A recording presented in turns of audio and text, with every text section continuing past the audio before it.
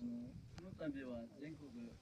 連合緊急大会に参加いただきましてありがとうございました。またあの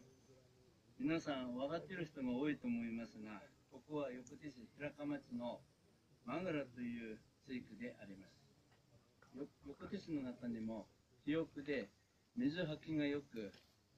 日当たり良好な立地条件に恵まれ美味しいリンゴができる環境にあります。分たちではマグラリンゴとして完熟で食味良好な果実を自信を持って生産販売しております。私の栽培方針としてはあちらがマルパインになりますがマルパン台を中心に体系仕立てで女性が安定した毎年品質の高いリンゴがなる手作りを心がけております。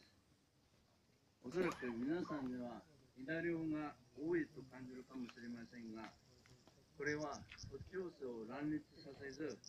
かつ立体的なナレ稲を作る剪定をしているためです。枝量は多めに確保し休め枝も配置して昨年結果の放数を測っております。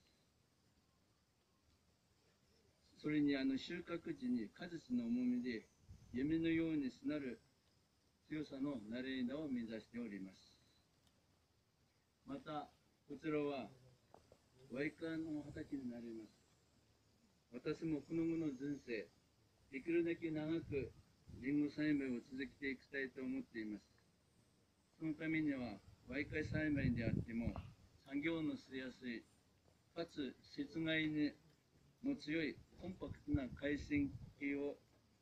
が一番ではないかと考えて木を作っているところです。